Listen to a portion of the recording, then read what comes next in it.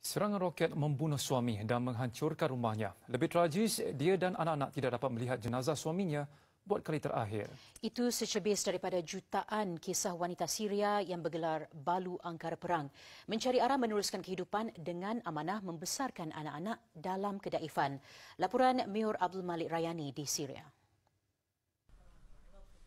Ahlam Azidi, 39 tahun, antara yang berkongsi kisahnya.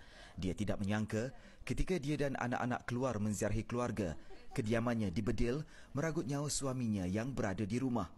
Dia kerana bimbangkan keselamatan, dia nekat membawa anak-anak lari ke tempat lebih selamat dan tidak dapat menguruskan jenazah suami yang syahid.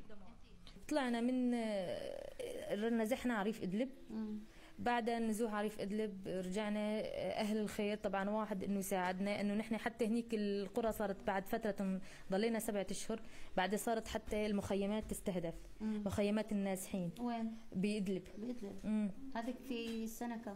إيه، هي هي تقريبا هالحادثة هي صار لها ثلاث سنين ثلاث سنين يعني Berbeza kisah Zahra Abdullah Khatab, 35 tahun. Selepas mengalami kemalangan dan pendarahan di kepala, suaminya berdepan tekanan kerana tidak mampu lagi menyara keluarga. Suaminya meninggal dunia akibat trauma perang. Ketika itu, anak bongsunya ini baru dua bulan dalam kandungan.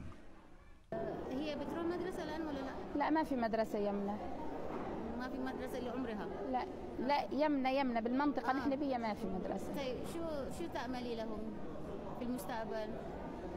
كأم إن شاء الله كاتب لها بدها تشوف ما بعرف كيف؟ إيش الله كاتب لها بدها تعيش أنا يعني ما بعرف المستقبل إيش بده يصير معاها يعني بس إيش تتأملي؟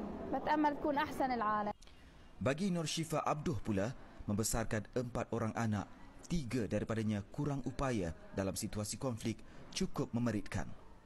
يعني انه امن من دار يعني داري معي يعني انه تكون جاهزه يعني امن انه عيشي يكون كويسه أنتم فين ساكنين؟ نحن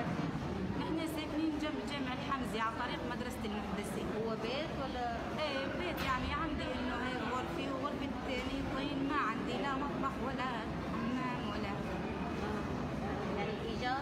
لا ما هي إيجار بيتك بيتي هو عبارة عن غرفتين؟ لا بس غرفة يعني كويسة غرفة بتنقط علينا بالشتاء يعني هي. Wanita Syria berdepan trauma paling berat dalam krisis ini. Peluang pekerjaan yang hampir tidak ada memaksa mereka bergelut untuk menyara keluarga. Kehilangan tempat tinggal, peningkatan kos sara hidup dan ada yang dieksploitasi.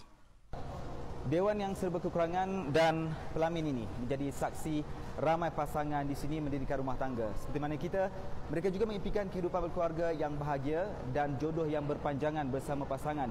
Namun konflik telah menyebabkan ramai wanita di sini menjadi balu.